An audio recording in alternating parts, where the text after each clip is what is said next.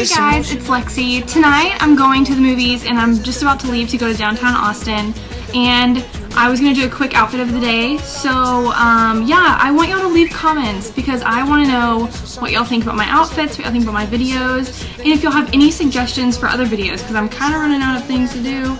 So, you know, pop those in and I will definitely consider them and, you know, follow up with them. So, um, we can get started with my jewelry. I have on, oh, my bra strap, excuse me.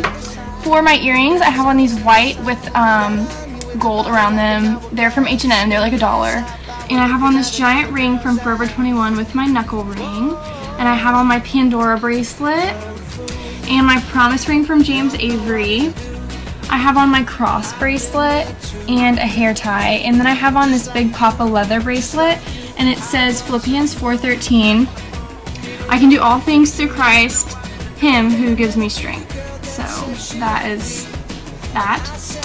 And I have on my mermaid necklace, as y'all saw in my last outfit of the day video. Like that. And then I have on my Alexis necklace, because that is my name. And I got this from Etsy, I think, or I don't know, something like that. But um, yeah, for my fragrance, I have um, Secret Wonderland by Bath & Body Works. And I thought this was great today because obviously I'm wearing flowers, but I needed a more summery fragrance and this smells like summery flowers, if that makes any sense. Um, yeah, in my purse, um, it looks like this.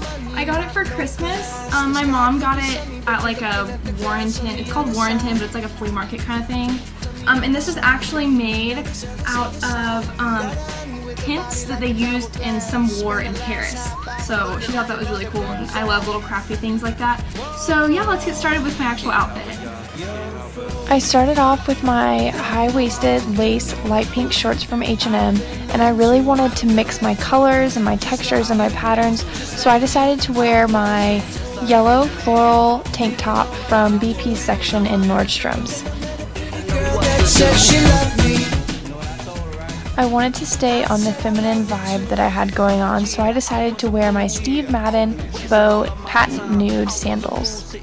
So for my makeup, I have on my usual, like I have my little cat eye, and I have on my bronzer, and you know, just my basic makeup look, and I um, have my natural hair today, and then I just clipped it up with this like little plastic clip you can see that. I really hope that y'all enjoyed this video today and don't forget to leave comments and tell me what you thought about this outfit and most importantly um, what y'all want to see on my YouTube channel because I'm running out of ideas and I would love to hear um, y'all's opinions.